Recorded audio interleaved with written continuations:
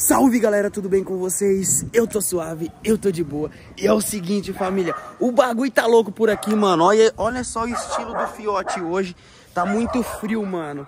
E tá com esse tempo de chuva também. Então eu resolvi ficar aqui em casa, bem quietinho, suave, tá ligado? Só que pra isso, mano, eu preciso aprontar. Vocês sabem que no meu dia a dia eu trago um vídeo pra vocês aqui aprontando, fazendo espionagem, trollagem, essas paradas. E aí, eu não posso deixar de trollar alguém hoje também. Hoje eu resolvi trollar minha mãe, mano. Vamos aproveitar que minha mãe tá fazendo aquele almoço, aquele almoço de domingo, tá ligado, mano? E aí, ela tá na cozinha preparando um ranguinho. O que, que eu decidi fazer? Eu vou lá agora, vou esconder o celular e, mano, vou desenrolar uma ideia com a minha mãe, no natural ali, papum. No final de tudo, mano, vou falar pra minha mãe que eu vou ser pai, velho. Velho, eu quero ver a reação da minha mãe assim que eu falar que eu vou ser pai. Por quê? Porque recentemente, para quem não sabe, a Jéssica veio aqui em casa, conheceu ela, conheceu minha casa também e tudo mais. E aí eu falei pra minha mãe, falei, mãe, eu quero conhecer melhor ela porque eu quero namorar com a Jéssica. E aí do nada, eu sem estar namorando com a Jéssica ainda, chegar ali na minha mãe e falar que eu vou ser pai. Eu não sei qual que vai ser a reação. Eu vou descobrir isso agora, mano. Deixa eu ir bem de boinha. Quer Eu tenho que ver na onde que eu vou esconder o celular, velho.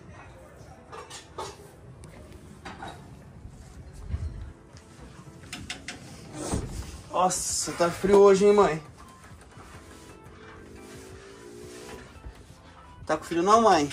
Ah, tô. Nossa, frio. Tô morrendo de frio.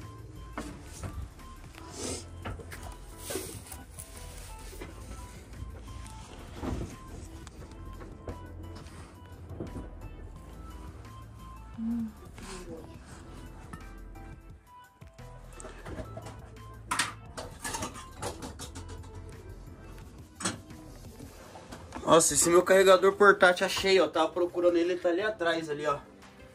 Nossa, faz tempo que eu não vejo ele, hein? Tava precisando dele pra carregar. Nossa senhora, mãe. Deixa eu sentar aqui, fazendo um ranguinho pra nós, mãe. Ó, coisa boa, hein? Jantinha. O que, que, que vai ter no almoço pra nós? Uma misturinha aí. Temperando um feijãozinho e vai ter uma bistequinha de. Opa, coisa boa. E a Micaele foi na casa amiga dela.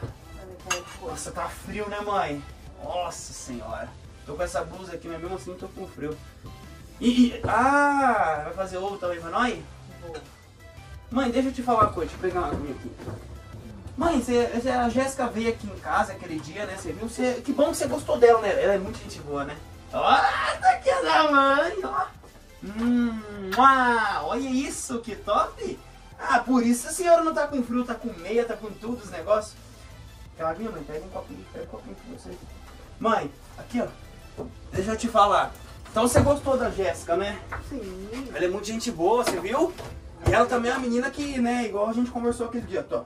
Ela é uma menina que, que também ela, ela foca nos negócios dela, foca na academia, foca no futuro dela, né, vamos dizer assim. Hum, e aí, ela é muito da hora mesmo, né? Ela é independente, vamos dizer assim, né? Não depende de ninguém, sabe? É, ela mesmo faz os corre dela, isso é muito da hora. Hoje em dia, uma menina desse jeito é, é, é difícil, né? É difícil uma menina assim, porque hoje em dia, querendo ou não, infelizmente, o mundo tá um pouquinho perdido, né? As meninas não querem meio que saber de nada, né? Tá, tá umas paradas meio assim. Tantas meninas, tantos homens também não querem meio que saber de nada. Então é meio, meio complicado mesmo. E, e aí, então, a Jéssica também gostou daqui de casa, gostou de você, né? Só que assim, mãe, eu, eu, eu preciso conversar com o seu negócio agora. É, eu, eu não vou ficar enrolando não, porque daqui a pouco também ela tem que almoçar aí. A parada é o seguinte, mãe, é, eu não sei nem como contar isso pra você, só que de primeiro momento eu quero que isso fique entre eu e você só, sabe? Ninguém da família pode saber, nem um amigo, nem um amigo meu, só vai ficar entre eu e você, tá? É que. Como que eu posso te explicar? Então, beleza, já te contei toda a história que eu tô conhecendo a Jéssica, melhor, já te contei que eu tô pensando em pedir ele namoro, né? Só que aquele dia você me falou assim, que pra mim pedir ele namoro, eu tenho que conhecer melhor ela, Sim. né? Então tem que ter mais um pouquinho de tempo, porque não é assim, porque namorar é uma coisa séria. Imagina namorar, se dar buquê, se der aliança, né? É um bagulho muito sério, querendo ou não, é uma responsabilidade. Mas vai chegar esse momento também. Mas assim, a questão é que. Eu fui na casa dela recentemente agora, né? E, e lá ela mora numa Airbnb, né? Mas o quarto dela ali sozinha, enfim, a gente teve o nosso momento lá. E acabou acontecendo de, tipo assim, como que eu posso explicar, mãe? É, eu ela me falou assim que ela fez um teste lá na farmácia. Mãe, é porque assim, eu, eu, sou, eu, sou novo, eu sou novo ainda. Eu sei que eu acho que esse não é o horário. O horário não.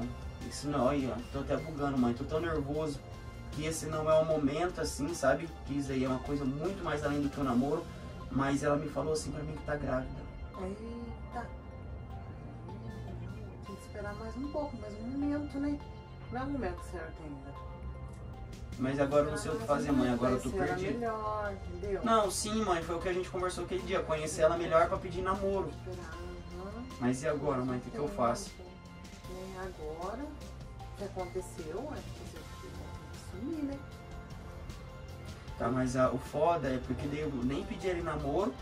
E além de tudo isso, a condição financeira nossa não vai dar pra bancar agora, tipo, o bebê, pra, pra cuidar do bebê. O que, que nós vamos fazer? Sim, mas eu acho assim, a criança não tem nada a ver com isso É, também, né? sim.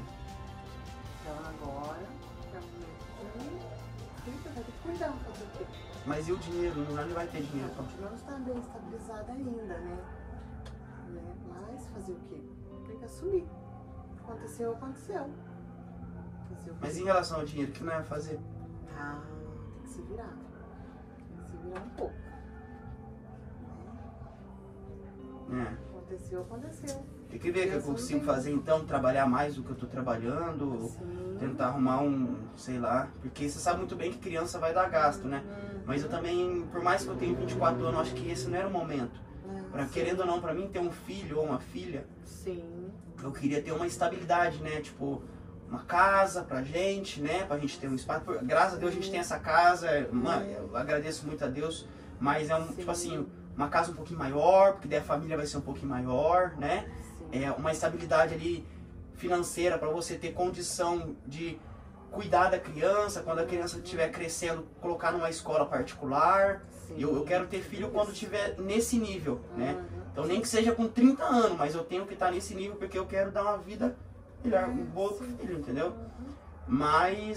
Mas a, a gente se vira então, né? Ah, claro, com Então é certeza. isso, mas- vai poder. tá, mas vai dar tudo certo, tudo tá? Já, já vem pra, pra comer aí, tá?